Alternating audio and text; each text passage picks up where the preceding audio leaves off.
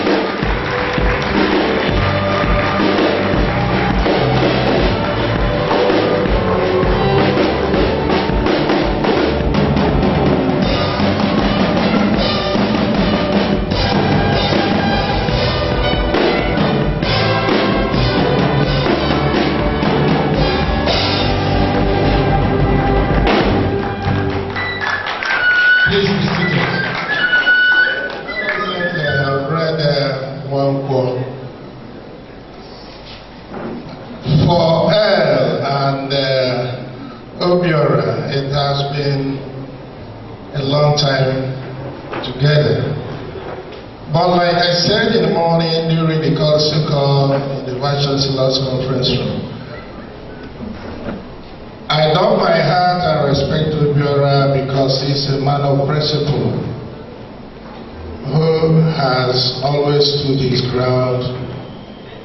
Some of you here may remember that a few years ago, not few, some years ago, the military boys were trampling on us and uh, when he could take it no more, he simply called it quits. That stood him out.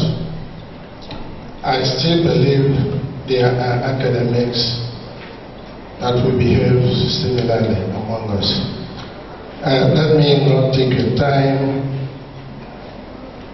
I will read what my big boss has to tell you. We are here to celebrate super abundant talent, to celebrate unquantifiable hard work, and to celebrate the world at acclaimed Nsukka Art School.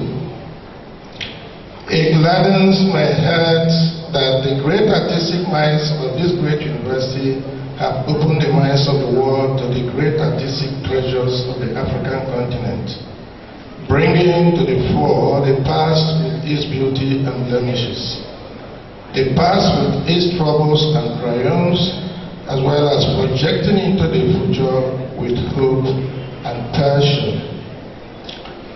The Nsukka Art School has given the world the gift of love, the gift of self-criticism, the gift of artistic bravery, and the gift of fearless artistic freedom. The great trailblazers of Ucho Chike Anyako, El Anatsui and Obiora Udechukwu have helped to place the University of Nigeria on the world's art map and by so doing have advanced in a very significant way the motto of the University of Nigeria to restore the dignity of the black man. Nearly two decades ago, Simon Ottenberg called the Nsukka School an emerging field. Today, it can be said without any fear of contradiction that the Nsukka Art School is now a world acclaimed artistic tradition.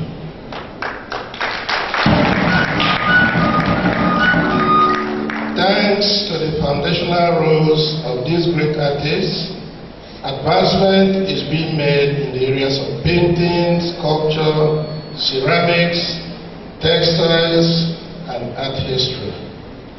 What more can we say? In Germany, in the United States, and in many other parts of Europe, these artists and their artistic progeny are advancing the cause of original art and making strong intellectual waves. In secondary schools, colleges of education, polytechnics, and universities across the continent, products of this great school are teaching art and spreading the spread of influence the Nsukka Art School. I commend with my whole heart the Faculty of Art for recognizing these prophets in our midst. El Anatsui and Obiora Udechukwu are two great arts ambassadors of this university.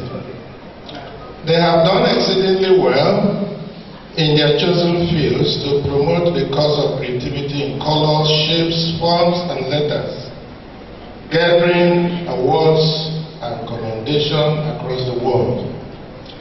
There is no sweeter commendation anyone can get than the one given by one's own contemporaries, one's own people. Indeed, anya maka na adị afụ Wada. We love them and we present them to other students as models of excellence and hard work. Those who work hard in this university as students and members of staff can rest assured that they will be remembered, recognized, and rewarded by the administration. This moment of celebration should also be a moment of reflection. We should, at this celebratory conference, analyze what has been accomplished in the Art Firmament with a view to making even greater impact. The biggest room in the world is the room for improvement. We will improve because we have all it takes to move to the next level.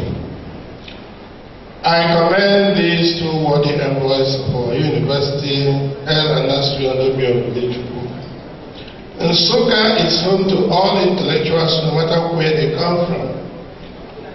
This is exemplified in the person of Professor Anatsui, who has made Nsukka home for the past four decades. That is what a university